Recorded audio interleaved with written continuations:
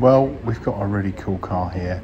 It's a 1934 Ford Model Y, so that's 90 years old, but it was rebuilt in the 80s as this uh, sort of street rod custom car by Tony Ham. The engine's a 350 Chevy, balanced and bored with an Isky Street strip cam and a Holley double pumper 650 carburetor. It's got plenty of go, literally can wheelie down the road if he wants it to. Uh, I think Martin's the current owner and uh, he completely rebuilt it uh, a couple of years ago. And he's clearly got a wicked sense of humour. No airbags, we die like real men. Well, let's hope not, Martin.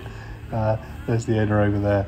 What a cool fella. Um, like a lot of people that put years of their life into doing up cars.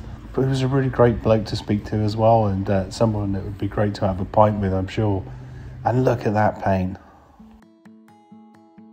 It's not till you get the sun on it that you get that speckled paint, that big flake finish, and it suddenly comes alive, and it's just beautiful.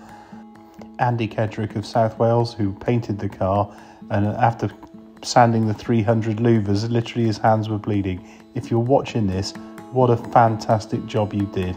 And full marks to the current owner as well for meticulously rebuilding it and getting it into this great condition. What a stunning car. And those wheels set it off so well, almost looks stock from a distance, which is half the fun of it. Absolutely brilliant.